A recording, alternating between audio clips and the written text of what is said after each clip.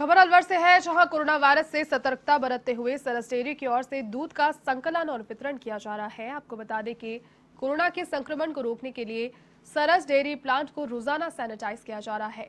इसी के साथ आमजन की आवाजाही पर भी रोक लगाई गई है। डेयरी के एमडी एमएल जैन ने बताया कि कोरोना वायरस के चलते सरकार की ओर से जारी की गई एडवाइजरी की पूरी तरीके से पालना यहाँ पर की जा रही है।